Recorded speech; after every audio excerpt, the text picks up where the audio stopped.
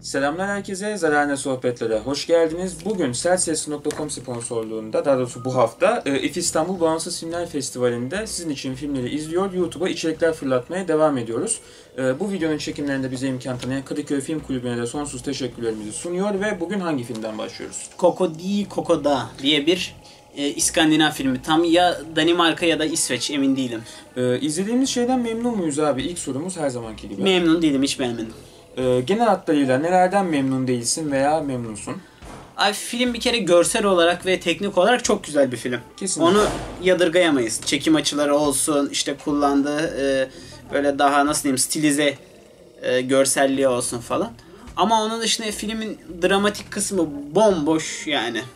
Sadece böyle aşırı dramatik olması için çünkü adamların çok fazla derdi yok bizim gibi yani aşırı dramatik olması için zorluyorlar da zorluyorlar ve bu gerçekten filmden kopmamıza sebep oluyor o yüzden çok sıkıcıydı. Abi bir dergiye veya gazeteye bir makale yazacak olsam bu filmle alakalı senin de söylediğin gibi başlık benim yazdığım yazıda şu oldu bomboş. Yani hakikaten boş. Ben hiçbir şey almadım filmden. Ee, film esasında çok da güzel başlıyordu Evet. baktığın zaman.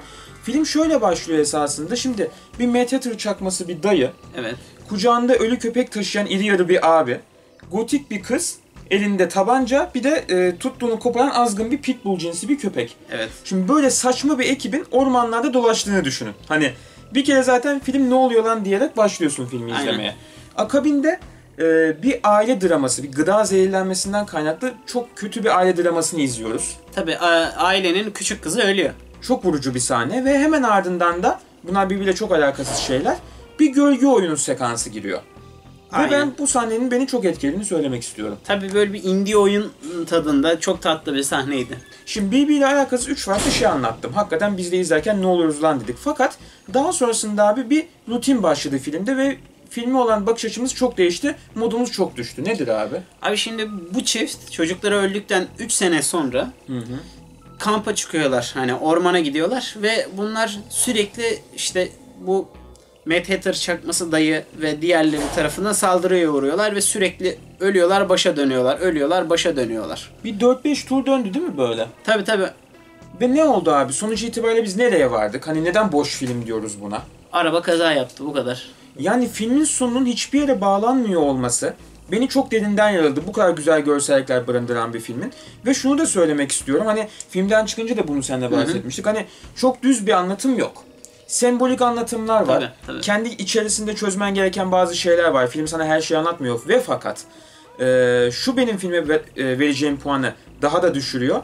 Ben bu filmi üşenmesem 1 saat 2 saat çözümlemeye kalksam, analiz etmeye kalksam bu filmi benim filme vereceğim puan daha da düşecek. Çünkü birazcık düşünmeye kalktım ve şunu anladım ki e, bağlanmıyor abi. Hani sembolik anladım anlatım adı altında he he deyip geçiyorsun. Demek ki öyle böyle diyorsun. Fakat üzerine düşündüğün zaman senaryoda açıklar var. Özellikle filmin son sahnesi falan. Ya hadi açık olmasının dışında sembolik anlatımı eyvallah anlıyoruz. Güzel tamam ama yani hani hissiz bir film yani hissetmiyorsun filmde acı çektiklerini veya işte yani acı çekmeseler bile hani aralarındaki ilişki çok soğuk bir filmdi yani o duygu açısından.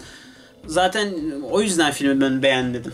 Ki senin de bahsettiğin gibi e, teknik anlamda bu kadar başarılı olmasına rağmen. Evet, evet. Yani sonuçta biz inceleme kitabı okumuyoruz. Normal bir dramatik bir hikaye izliyoruz yani. Çok saçma geliyor bana fazla sembolizme boğmak yani. E, filmin ismi neydi Ozan'cığım bir daha alalım. Koko di Kokoda yani bir çocuk şarkısı yanlış hatırlamıyorsam. Evet bir İskandinav, Alman, Kuzey Avrupa miti gibi bir şey de olabilir. Çok da emin değilim açık konuşmak Salla gerekirse. gitsin. Ee, eklemek istediğin son bir şey yoksa kapatıyorum. Ben genel anlamıyla beğenmedim. Hani ne yalan söyleyeyim ama izleyebilirsiniz. En azından teknik ve kurgu anlamında e, aşmış bir görsellik. Ben çok beğendim filmin görselliğini. Evet. Bu arada yalan söylemene gerek yok. Beğenmemiş olabilirsin. Benim de eklemek istediğim şu. Midsommar'ı sevmeme sebebimle aynı sebep bu filmi sevmeme. Yani sonuçta ben bu antropoloji kitabı okumakla ilgilenmiyorum. Ben film izlemekle ilgileniyorum. Eğer Midsommar'ı sevdiyseniz bunu da seversiniz. Sevmediyseniz bunu da sevmezsiniz yani bu kadar. Ee, arkadaşlar Zararına Sohbetler YouTube kanalına abone olmayı ihmal etmiyoruz. Açıklamalar kısmında İF İstanbul'la ilgili iletişim bilgileri ve Kadıköy Film Kulübü ile ilgili iletişim bilgileri bulunmakta. Kendinize de iyi bakıyorsunuz. Görüşmek üzere.